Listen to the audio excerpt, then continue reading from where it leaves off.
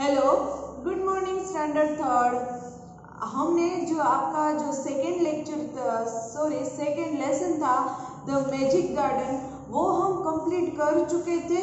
आज हम क्या उसकी एक्सरसाइज डिस्कस करेंगे? बीच में हमने जो ग्रामर का फ़र्स्ट चैप्टर था, वो हमने देखा था। लेकिन आज इस लेक्चर में हम जो हमारी इस सेकेंड चैप्टर की जो एक्सरसाइज है, वो कंटिन्यू करेंगे।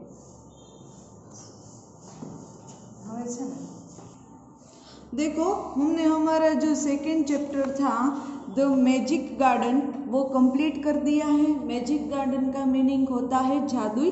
बगीचा।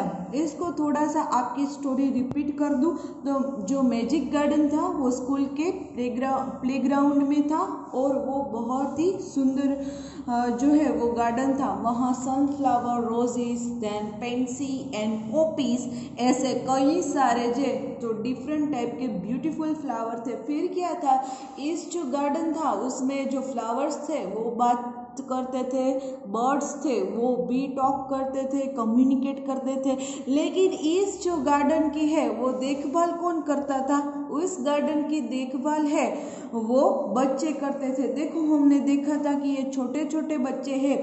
ये बच्चे ही इस गार्डन गार्डन है, उसके गार्डनर थे, यानी कि माली थे। इस जो फ्लावर है, उसको उसको पानी देना उसके जो थ्रोट्सटी रूट है उसको उसको बी, बीज है उसके वो बोना वो सब काम ये बच्चे ही करते थे। लेकिन जो ये जादू बगीचा था वहाँ ये फ्लावर्स भी आपस में आपस में बातचीत करते थे कि ये बच्चे बहुत ही अच्छे हैं। हमारा कितना ख्याल रखते जो बच्चे थे जो इस गार्डन की है वो ध्यान रखते थे। फिर क्या हमने आगे देखा था कि इस गार्डन में कई सारी, देखो फेरीज भी आती थी। फेरीज यानी कि जिसको आप परी कहते हो, बच्चों को ज़्यादातर अच्छी लगती और जो फेरीज है, वो स्वीट सॉन्ग आती थी। फिर जो बर्ड्स है, वो भी इसके साथ कम्युनिकेट करते थे। ये जो फ्लावर्स है, सब उसको, बच्चे को थैंक यू इसका यानी कि उसका धन्यवाद मानते थे कि ये बच्चे हैं जो हमारा कितना ख्याल रखते हैं। और इस चैप्टर है the magic garden it is a very really nice lesson actually और वो किस चैप्टर से लिया गया है?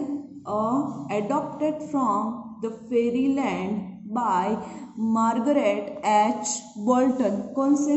ये जो इसके जो राइटर है, जो मार्गरेट एच बोल्टन है, और उसकी जो एक किताब है द फेरी गार्डन उसकी ये किताब उसने लिखी थी, उसमें से ये चैप्टर लिया गया है। अब नेक्स्ट देखते हैं, हमारे कंटिन्यू जो एक्सरसाइज थी न्यू वर्ड्स इसमें न्यू वर्ड्स यानी कि नए शब्द कौन से हैं? मैजिक यानी कि जादू। गार्डन यानी कि बगीचा। गार्डनर्स यानी कि माली। प्लेग्राउंड यानी कि खेल का मैदान। सनशाइन यानी कि सूर्य की चमक गोल्डन यानी कि सुनहरा, और ड्रीमिंग यानी कि सपने देखना। फिर से एक बार रिपीट करती हूँ। Magic M A G I C magic का मीनिंग होता है जादू। Garden G A R D E N garden यानी कि बगीचा। गार्डनर्स यानी कि जो गार्डन की है, वो देखभाल रखते हैं। माली जिसको कहते हैं गार्डनर्स प्लेग्राउंड यानी कि खेल का मैदान, सनशाइन यानी कि सूर्य की जो चमक होती है वो गोल्डन यानी कि सुनहरा जो कलर है गोल्डन और ड्रीमिंग यानी कि सपने देखना। तो इस चैप्टर के हमारे ये न्यू वर्ड्स थे। आगे एक्सरसाइज क्या है? रीडिंग इज़ फन क्या कहते हैं? फ़र्स्ट देखो, यहाँ थोड़े से क्वेश्चन आंसर है. We can see that there are three sorry four question first क्या है? Why did the flowers love the little children क्या है फ़र्स्ट क्वेश्चन जो फ्लावर्स है, वो बच्चों को क्यों प्यार करते थे? बच्चों उस, बच्चे उसको क्यों पसंद थे? तो हमें सब सबको पता है the flowers love the little children because they care of the flowers bring their thirsty roots and बीज जो फ्लावर्स थे, जो फ्लावर्स थे, वो बच्चे थे, जो फ्लावर्स सॉरी जो बचे थे, वो फ्लावर्स की साल संभाल कैसे रखते थे? उसको जो थर्स्टी रूट थे, उसको पानी देना, बीस बोना ऐसी सब संभाल रखते थे। Next why did the birds love the children क्या कहते हैं? जो बर्ड्स है, उसको जो बच्चे हैं, वो क्यों पसंद थे? क्योंकि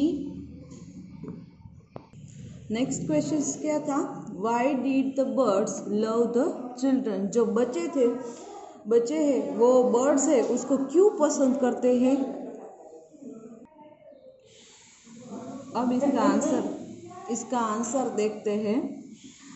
The birds love the children because the children are kind the birds love the children because children are kind and bring and care the of flowers of third name five flowers growing in the magic garden. क्या है कि जो जो जादुई बगीचा था, जो magic garden था, उसमें से कौन से फ्लावर्स थे, उसके हमें यहाँ नीम लिखने हैं। तो फ़र्स्ट हमको पता है, सनफ्लावर था, मेरीगोल्ड था, देन रोज था and pansy and poppy flowers so so so there are five flowers in the magic garden ऐसा करके आपको फाइव जो फ्लावर्स थे उसके जैसे मैंने नाम बताए वो लिखने हैं four what sound could the children hear in the garden क्या कहते हैं कि जो साउंड था, वो चिल्ड्रन को किसका साउंड सुनाई देता था? तो फेरिक था, फिर जो बर्ड्स है, जो अपनी स्वीट वॉइस में जो सी गा रहे थे गाना, उसका आवाज़ सुनाई दे रहा था। नेक्स्ट है टॉक टाइम क्या करना है? बातचीत communicate it is the one type of communicate actually and this exercise is also improve your speaking speaking skill क्या कहते हैं? Roses I like roses most roses are red क्या कहते हैं? मुझे रोज़ पसंद है, गुलाब यानी कि पसंद है। सब जो रोजेस है, वो किस कलर के हैं? रेड कलर के हैं। फिर क्या? Some are white some are yellow जो कई फूल है, वो वाइट कलर के रोज़ हमने भी देखे हैं।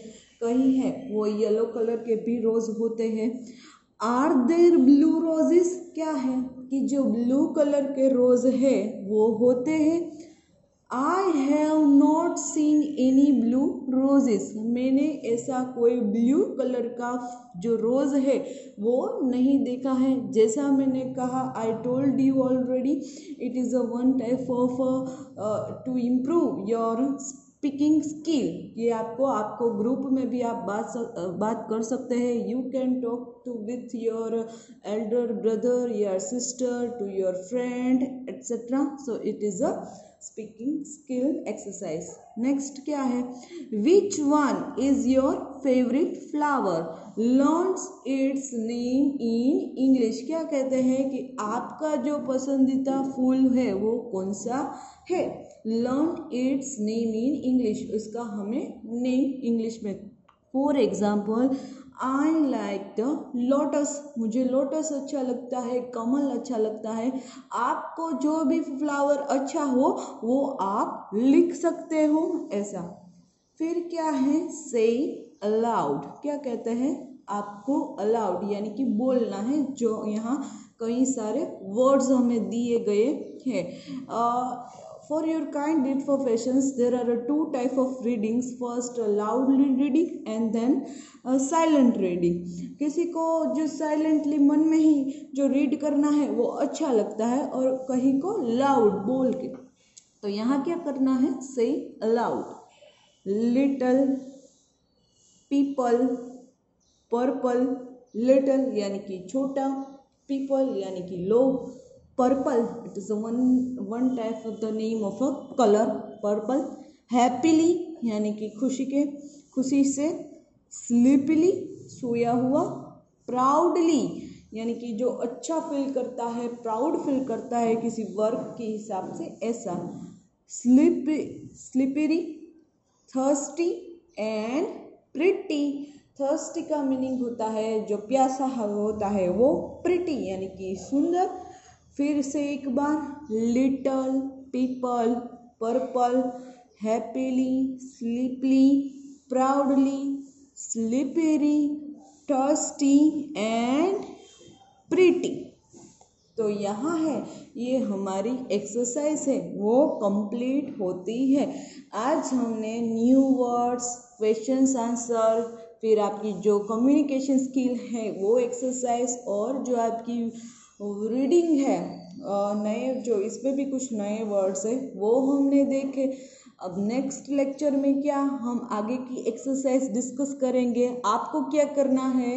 इस क्वेश्चन आंसर को लिख, लिखना है, सुनना है। दो तीन बार जब सुनोगे तो आपको आ जाएगा। अब नेक्स्ट लेक्चर में आगे की एक्सरसाइज डिस्कस करेंगे। Till then goodbye to all